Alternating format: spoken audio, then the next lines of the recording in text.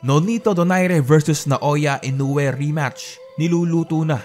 Bob Arum inaayos ang labang Vasily Lomachenko kontra George Cambosos Jr. at Ryan Garcia lalaban sa darating na April 2. Yan ang mga pag-uusapan natin mga brand pero bago ang lahat, kung ngayon ka palang napadpad sa ating channel, ay pinutin mo na ang subscribe at notification bell button para palagi kang updated sa mga videos tulad nito.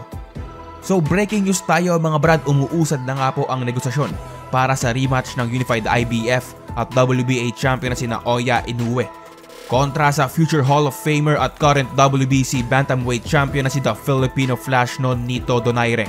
Ayon mismo sa promoter ng US-based Filipino boxer na si Richard Schaefer ng Probellum Promotions, ay nakausap na niya ang promoter ng Japanese monster na si Akihiro Honda ng Taken Promotions at balak nga po nilang gawin ito sa bansang Japan.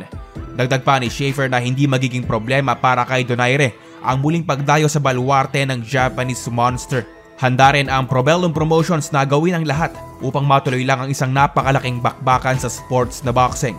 Gayunpaman kung hindi mangyari ang rematch ay may backup plan naman sila para sa karera ni The Filipino Flash kung saan ay pwede raw siyang umakyat papuntang 122 pound division at labanan na lang ang Unified WBC at WBO Super Bantamweight Champion na si Stephen Fulton.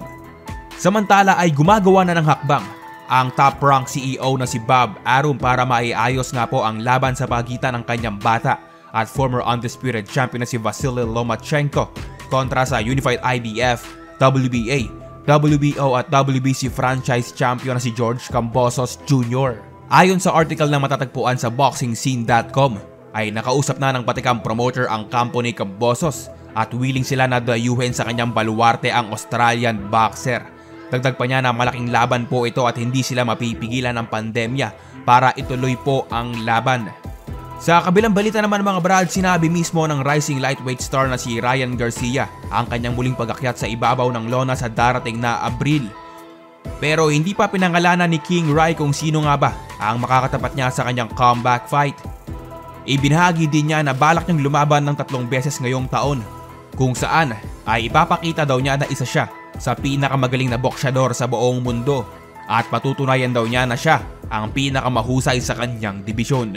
So yun lamang po ang mainit na boxing balita ngayong araw na ito. Mag-iwan lamang ng komento sa ibaba at pag-uusapan natin yan.